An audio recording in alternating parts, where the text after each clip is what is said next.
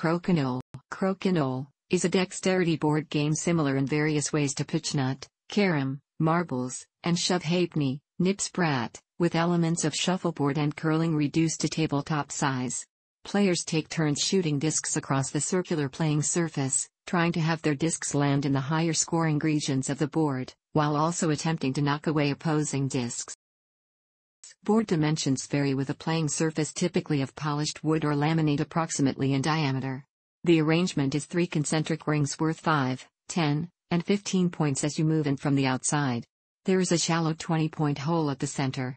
The inner 15 point ring is guarded with eight small bumpers or posts. The outer ring of the board is divided into four quadrants. The outer edge of the board is raised slightly to keep errant shots from flying out with a gutter between the playing surface and the edge to collect discarded pieces.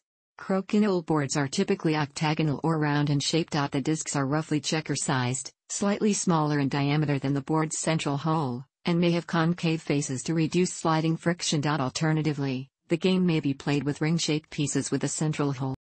The use of any lubricating powder in crokinole is controversial, with some purists reviling the practice. Powder is used to ensure pieces slide smoothly on the surface. According to Carrom rules, the powder must be of high quality to keep the surface smooth and dry, and shall not be wet. Pouches and containers are used to spread the powder over the playing surface. There must be no impurity in the powder. Boric acid powder is mostly used for this purpose. In the UK, many players use a version of anti-set-off spray powder, from the printing industry, which has specific electrostatic properties, with particles of 50 micrometer diameter. The powder is made of pure food-grade plant-slash-vegetable starch. Crokinole is most commonly played by two players, or by four players in teams of two, with partners sitting across the board from each other. Players take turns flicking their discs from the outer edge of their quadrant of the board onto the playfield. Shooting is usually done by flicking the disc with all finger, though sometimes small cue sticks may be used. If there are any enemy discs on the board, a player must make contact, directly or indirectly, with an enemy disc during the shot. If unsuccessful, the shot disc is fouled and removed from the board, along with any of the player's other discs that were removed during the shot. When there are no enemy discs on the board, many, but not all, rules also state that a player must shoot for the center of the board, and a shot disc must finish either completely inside the 15-point guarded ring line, or, depending on the specifics of the rules, be inside or touching this line. This is often called the no hiding rule, since it prevents players from placing their first shots where their opponent must traverse completely below the guarded center ring to hit them and avoid fouling. When playing without this rule, a player may generally make any shot desired, and as long as a disc remains complete alongside the outer line of the playfield, it remains on the board. During any shot, any disc that falls completely into the recessed central 20 hole, aka the toad or dookie, is removed from play, and counts as 20 points for the owner of the disc at the end of the round assuming the shot is valid. Scoring occurs after all pieces, generally 12 per player or team, have been played, and is differential, i.e., the player or team with higher score is awarded the difference between the higher and lower scores for the round, thus only one team or player each round gains points. Play continues until a predetermined winning score is reached.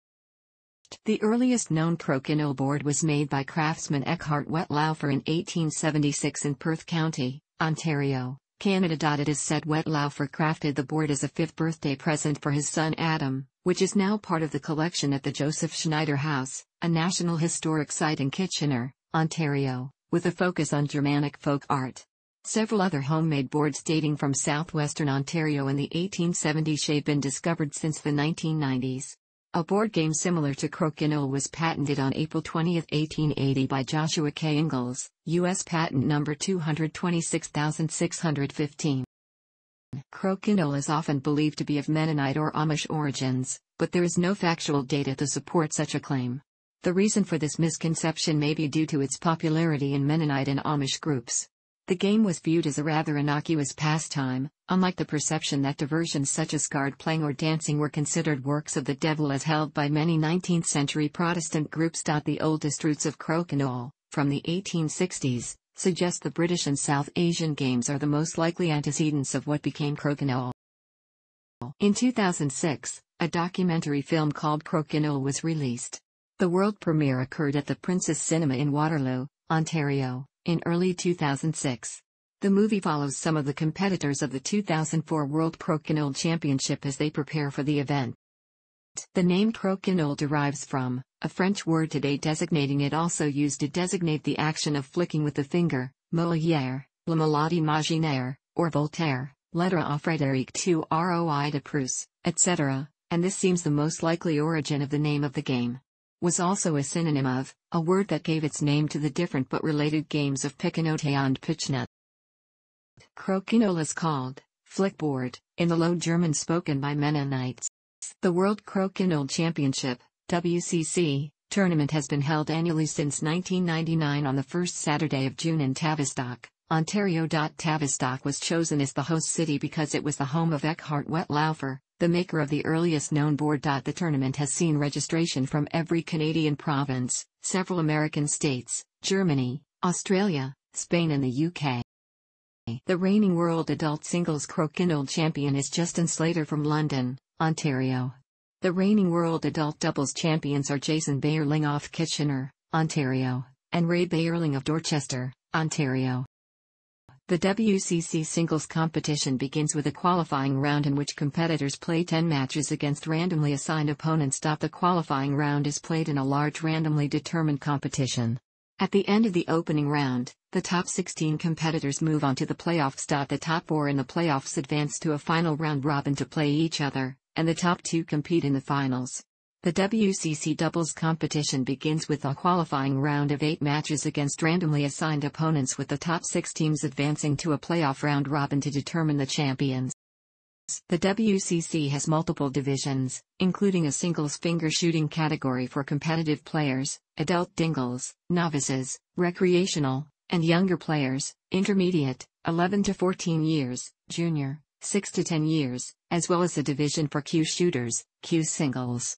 The WCC also awards a prize for the top 20 hole shooter in the qualifying round of competitive singles, recreational singles, cue singles, intermediate singles, and in the junior singles. The tournament also holds doubles divisions for competitive finger shooting, competitive doubles, novices, recreational doubles, younger players, youth doubles, 6 to 16 years, and cues shooting, cues doubles.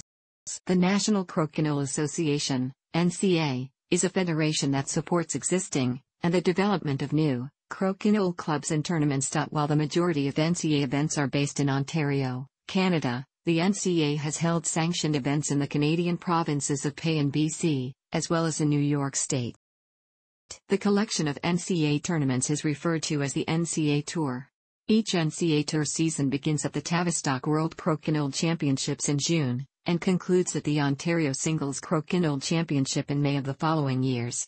The results of each tournament award points for each player, as they compete for their season-ending ranking classification.